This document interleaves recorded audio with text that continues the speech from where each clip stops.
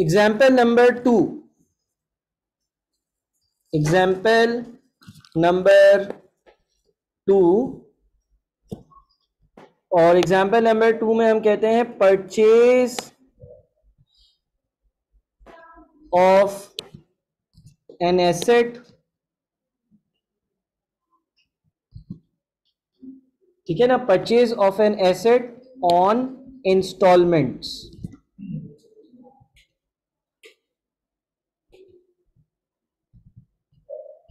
purchase of an asset on installments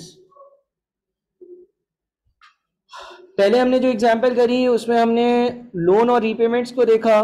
अब जो हम दूसरी एग्जाम्पल कर रहे हैं उसमें हम ये देख रहे हैं कि कोई एसेट अगर हम परचेज करते हैं तो उसके लिए क्या करते हैं purchase of an asset on instalments instalments पर किस्तों पर अगर परचेज करते हो तो ठीक है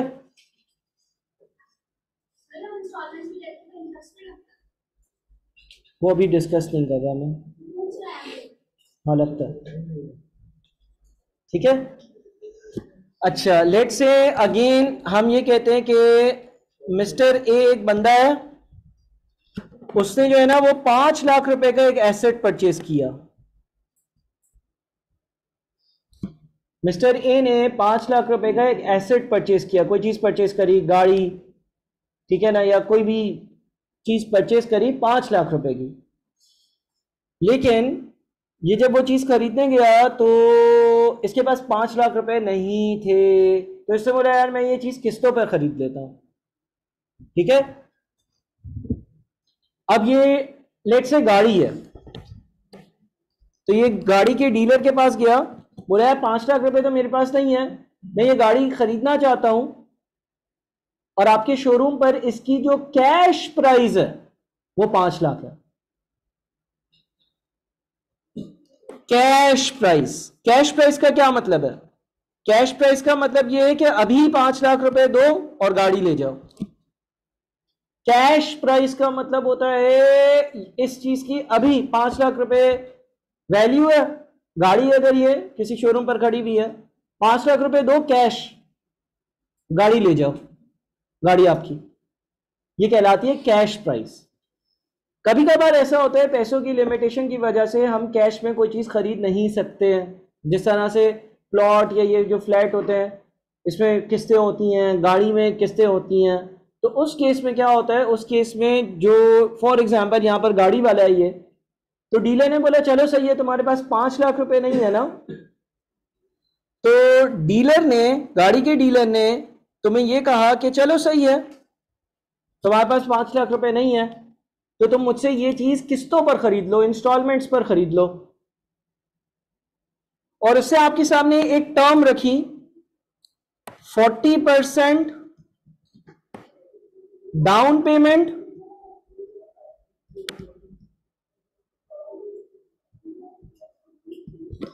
sixty percent instalments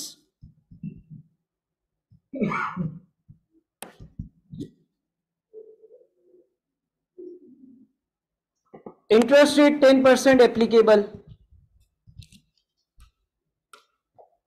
2 year repayment, 2 years repayment term, गाड़ी के डीलर ने ये बोला कि चलो तुम्हारे पास पांच लाख रुपए नहीं है खैर है कोई मसला नहीं है मैं तुम्हें ये चीज़ किस्तों पर बेच देता हूं तुम चालीस परसेंट डाउन पेमेंट करना सिक्सटी परसेंट इंस्टॉलमेंट्स में ले लेना दो साल दूंगा तुम्हें रीपेमेंट करने के लिए दस परसेंट का इंटरेस्ट लगेगा क्या हाँ पर ईयर पर ईयर कहीं भी कुछ नहीं लिखा वो पर ईयर ही होगा वो एग्जाम्पल्स में अब ईयर जीरो लेट से आज का दिन है मुझे बताओ अगर ये बंदा आज ही पूरी की पूरी गाड़ी खरीद लेता तो कितने की मिलती इसको पांच लाख रुपए की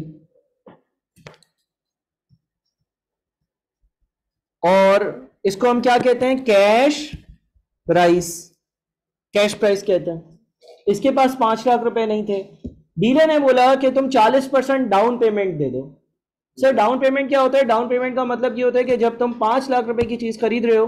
तो वो बोला मैं पांच लाख रुपए की किस्त नहीं कर दूंगा कि तुम वहां गाड़ी ले जाओ बाद में देखेंगे पैसे दे देना सो बोला चालीस परसेंट पैसे तो कम अज कम आज दे दो डाउन पेमेंट वो अमाउंट होता है जो मैं कोई चीज किस्तों पे खरीदता हूँ ना तब उसी वक्त देता हूँ मतलब कि वो चालीस परसेंट अगर पांच लाख का ले तो कितना बनता है दो लाख रुपए बनता है डीलर ने बोला यार दो लाख रुपए तो तुम्हें अभी ही देना पड़ेंगे दो लाख रुपए तो तुम्हें अभी के अभी मुझे देना पड़ेंगे चलो पांच लाख नहीं है दो लाख रुपए तो है ना दो लाख रुपए तो तुम मुझे अभी के अभी दो ठीक है उसके पास शायद दो लाख होंगे वो एग्री कर गया पांच लाख एक बहुत बढ़िया अमाउंट है दो लाख उसके मुकाबले में तो आधे से भी कम है तो डीलर ने कहा कि पांच लाख में से दो लाख तुम मुझे अभी दे दो बचे कितने तीन लाख और ये सिक्सटी परसेंट ही होगा ना पांच लाख का सिक्सटी परसेंट बोला इसकी मैं किस्तें कर देता हूं इसकी मैं किस्तें तीन लाख रुपए की मैं किस्तें कर देता हूं अच्छा जब मैं किस्तें करवा रहा हूं तीन लाख रुपए की तो इसका मतलब पांच लाख में से मैं दो लाख रुपए अभी दे रहा हूं और तीन लाख रुपए अभी नहीं दे रहा तो अगर अभी नहीं दे रहा बाद में दूंगा तो क्या ये लोन ही हुआ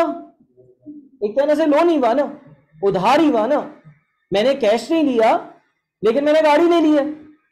उधार ही हुआ बिल्कुल मुझे इसको पे करना है बिल्कुल तो मैं इसको लिख देता हूं लोन भी लिख सकते हैं इसको यानी कि पांच लाख की गाड़ी में से दो लाख नकद दे दिया बच गया तीन लाख उसका उधार करा लिया डीलर ने बोला कि मुझे तो जो है ना वो तुम पहले साल के आखिर में पहले साल के आखिर में लेट से तुम जो है ना वो मुझे डेढ़ लाख रुपए दे देना पहले साल के आखिर में डेढ़ लाख रुपए दे देना इसको हम कहते हैं रीपेमेंट नंबर वन और डीलर ने कहा बाकी पैसे बाकी पैसे डेढ़ लाख नहीं बोले बाकी पैसे ये टू पर देने कितने पैसे ये टू पर देने किसने बोला डेढ़ लाख डेढ़ लाख किसने बोला मना किया ना ये टू पर कितने पैसे देने हैं बाकी पैसे उधार कितने का था तीन लाख का पहले साल के आखिर में कितने दिए हाँ शाफे ये टू पे कितने देने उधार कितने का था तीन लाख ये रन पे कितने दिए तो ये टू पे कितने देने हैं बाकी पैसे ठीक है ना डेढ़ लाख देने नहीं बाकी पैसे देने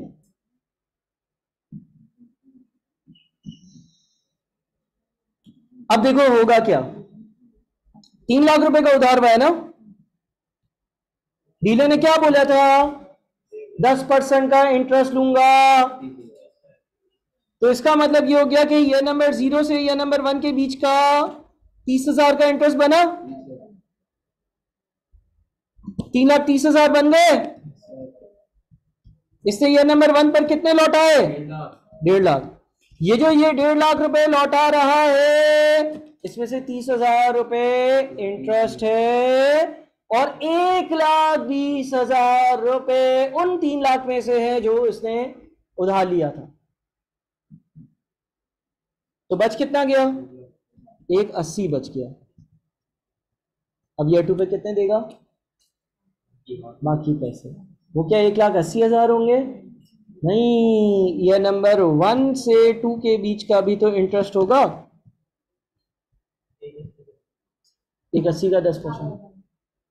तो ये टू पर जब ये पैसे देने जाएगा ना तो ये one ninety eight thousand rupees देगा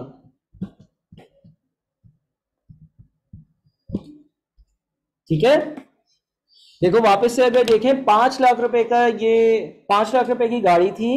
पांच लाख रुपए की गाड़ी जो थी इसमें से दो लाख इसने उसी वक्त पे कर दिए अब जब दो लाख रुपए उसी वक्त पे कर दिए तो बच गए तीन लाख रुपए डीलर ने बोला था कि मैं तुम्हें उधार देने को तैयार हूं मैं तुम्हें ये चीज़ किस्तों पे बेचने को तैयार हूं अलबत् मैं तुमसे दस परसेंट का इंटरेस्ट दूंगा तो हुआ ये कि ईयर ज़ीरो से ईयर नंबर वन के बीच का इंटरेस्ट तीन लाख पर दस परसेंट यानी कि तीस हज़ार रुपए बना अब तीन लाख और तीस हजार तीन लाख तीस हजार रुपए हो जाते हैं तीन लाख तीस हजार रुपए में से ये नंबर वन पर डेढ़ लाख रुपए दिए गए जब डेढ़ लाख रुपए दिए गए तो तीन लाख तीस हजार में से डेढ़ लाख माइनस करो तो एक लाख अस्सी हजार बच गए जब एक लाख अस्सी हजार बच गए तो एक लाख अस्सी हजार ईयर वन से ईयर नंबर टू के बीच का भी उस पर दस परसेंट का अठारह हजार का इंटरेस्ट लगेगा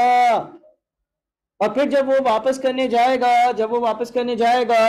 तो वो 198,000 मजीद रीपे करेगा और उसके पास फिर ये कहानी ख़त्म होगी सही है अब इससे हम कुछ चीज़ें यहां पर लिखते हैं देखो नंबर वन गाड़ी की कैश प्राइस कितनी थी पांच lakh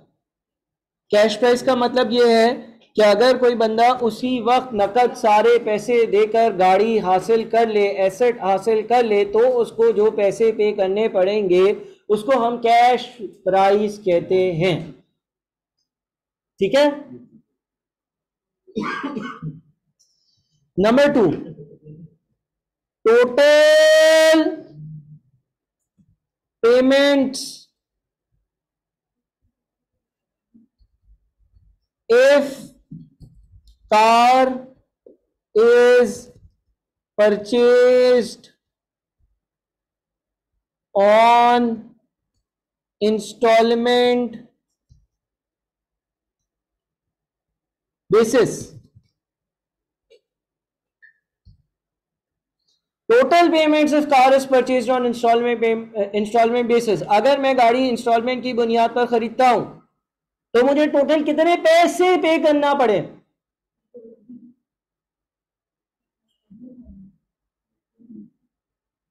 five forty eight total payment if car is purchased on instalment basis देखो मुझे दुकानदार ने दो ऑप्शन दिए थे दुकानदार ने दो ऑप्शन दिए थे उससे बोला था या तो पांच लाख रुपए दो गाड़ी ले जाओ या उसने ये ऑप्शन दिया था कि गाड़ी किस्तों पर ले जाओ मैंने उसको बोला किस्तों पर दे दो गाड़ी तो उसने बोला लाओ डाउन पेमेंट दो उसने मुझसे दो लाख रुपए की डाउन पेमेंट मांगी डाउन पेमेंट कहते हैं एसेट्स के केस में उसने दो लाख रुपए की डाउन पेमेंट मांगी फिर एक साल गुजरा जब पहला साल गुजर गया तो डेढ़ लाख रुपए उसने एक रीपेमेंट मांगी फिर वापस से एक और साल गुजर गया तो उसने वन नाइन्टी एट थाउजेंड और मांगे तो कितने महीने total five forty eight thousand ठीक है अच्छा उसके बाद मुझे बताओ डाउन पेमेंट कितनी है दो लाख अच्छा मुझे बताओ लोन कितना है तीन लाख का अच्छा मुझे बताओ इंटरेस्ट कितना है नहीं रेट नहीं बताओ इंटरेस्ट कितना पे किया देखो अगर वो जो शेड्यूल बनाया ना पहले साल का तीस हजार का इंटरेस्ट था दूसरे साल अट्ठारह हजार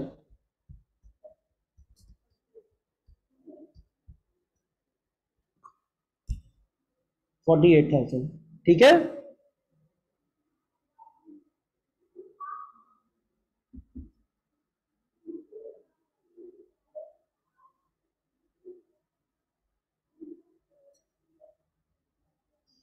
क्या मैं ये कह सकता हूं interest interest is equals to repayments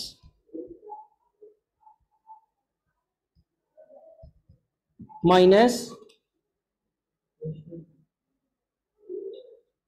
loan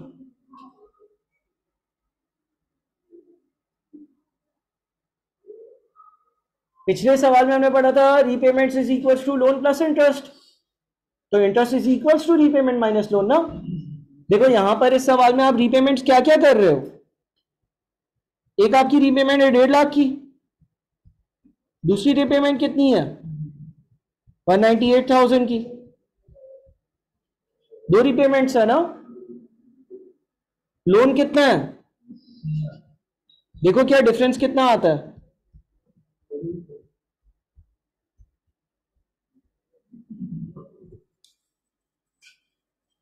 यानी कि आपका जो डिफरेंस है वो इंटरेस्ट है ना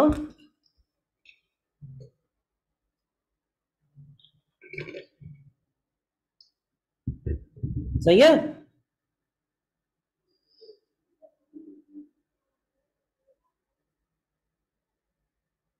इंटरेस्ट कैलकुलेट करने के लिए अगर रीपेमेंट्स में से लोन माइनस कर दूं तो इंटरेस्ट आ जाता है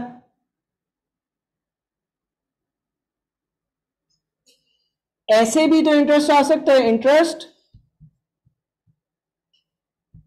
is equals to interest is equals to repayments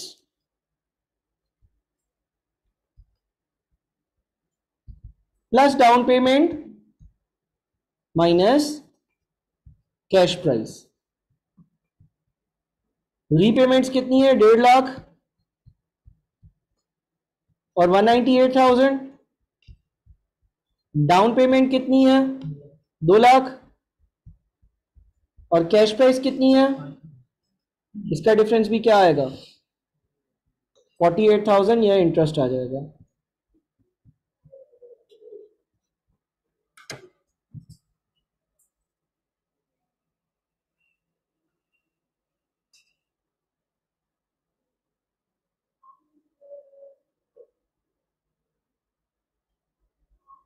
mm you.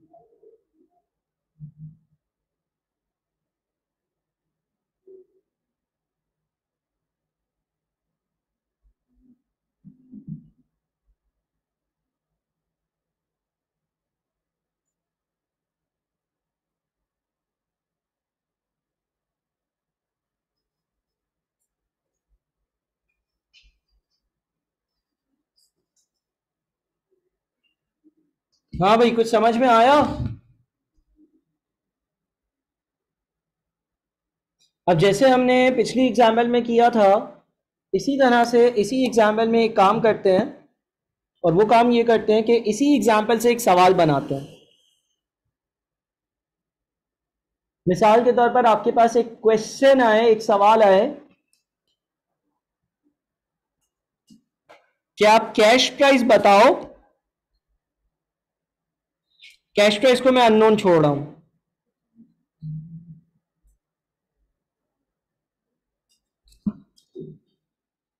Cash पे इसको अननोन छोड़ रहा हूं और ऊपर वाले ही डेटा से सवाल बना रहा हूं तो इवेंचुअल आंसर क्या होगा पांच लाख आपको जो है ना वो डाउन पेमेंट बता दी है कितनी है भाई दो लाख कैश में इसमें से डाउन पेमेंट हटाते तो क्या आता है लोन नहीं पता आपको यह बताया हुआ कि पहली जो रीपेमेंट थी ना वो डेढ़ लाख रुपए थी जो दूसरी रीपेमेंट थी ना वो वन नाइन्टी एट थाउजेंड थी दस परसेंट का रेट है क्या कैश प्राइस बता सकते हो कैसे हाँ is equal to S upon one plus i power n कैसे लोन की अमाउंट लोन की अमाउंट किसके बराबर होती है प्रेजेंट वैल्यू ऑफ रीपेमेंट्स के तो अगर मैं डेढ़ लाख और वन नाइन्टी एट थाउजेंड की प्रेजेंट वैल्यू निकालूंगा तो लोन आ जाएगा लोन में डाउन पेमेंट ऐड करूंगा तो क्या आ जाएगा कैश प्राइस दस परसेंट का रेट है लोन की अमाउंट अगर ढूंढनी हो ना ईयर वन पर जो डेढ़ लाख है उसको ईयर वन से ईयर जीरो पर लेकर जाना है कितने साल पीछे लेकर जाना है तो लिख देते हैं डेढ़ lakh divided by one plus ten percent power one और जो ये नंबर टू पे वन एट थाउजेंड है इसको कितने साल पीछे लेकर जाना है तो लिख देते हैं thousand divided by one plus ten percent power बताओ कितना आता है चेक करो जरा तीन लाख आ रहा है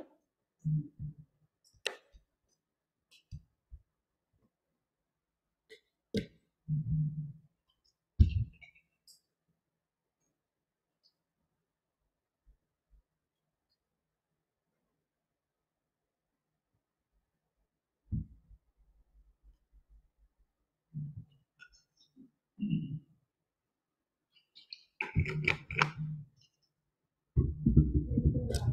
रहा है ना तीन लाख और हम ये जानते हैं कि cash price minus down payment is equals to loan और इस हिसाब से cash price is equals to loan plus down payment यानी कि cash price is equals to तीन लाख प्लस दो लाख यानी कि पांच लाख